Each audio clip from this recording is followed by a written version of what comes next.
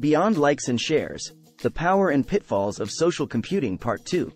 To promote positive user experiences, designers need to consider the needs of different types of users and design interfaces that are easy to use, accessible, and engaging.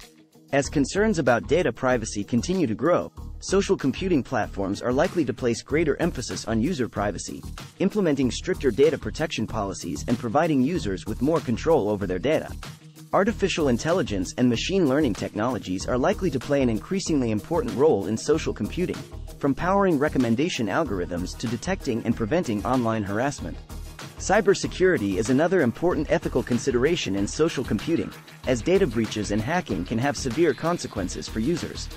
Social computing and mental health are intricately linked, with social media platforms having both positive and negative effects on mental health.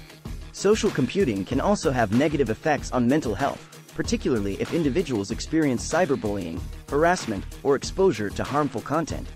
This can involve implementing features such as content moderation and reporting, and promoting healthy social media habits such as limiting screen time and taking breaks from social media. By being mindful of the ways that social computing can impact mental health, we can work towards creating a healthier and more positive online community.